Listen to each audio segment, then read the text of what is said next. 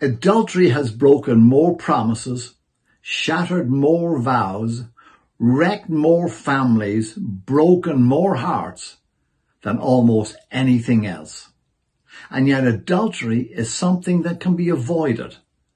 We see that in the book of Proverbs in the seventh chapter, which I will now read. My son, keep my words. They will keep you from the adulterous woman and from the wayward woman with her seductive words. At the window of my house I looked down through the lattice. I saw among the simple, I noticed among the young men, a youth who had no sense.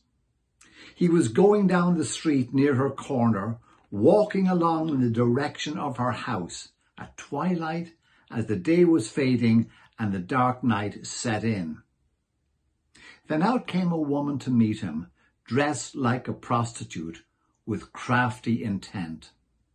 She took hold of him and kissed him, and with a brazen face she said, Today I have fulfilled my vows. I have food for my fellowship offerings at home. So I came out to meet you, and I found you. I have covered my bed with colored linens from Egypt. I have perfumed my bed with myrrh, aloes, and cinnamon. Come, let's drink deeply of love till morning. Let's enjoy ourselves with love. My husband is not at home. He is gone on a long journey. He took his purse filled with money and will not be back until the full moon. With her persuasive words, she led him astray. She seduced him with her smooth talk. All at once he followed her like an ox going to the slaughter, like a deer stepping into a noose. Now, my sons, listen to me. Pay attention to what I say. Do not let your heart turn to her ways or stray into her path. Many are the victims she has brought down. Her slain are a mighty throng.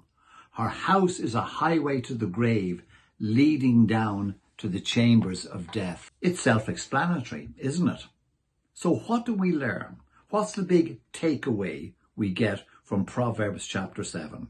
Simply this. The path leading to adultery is traveled by those who do not seek wisdom from God.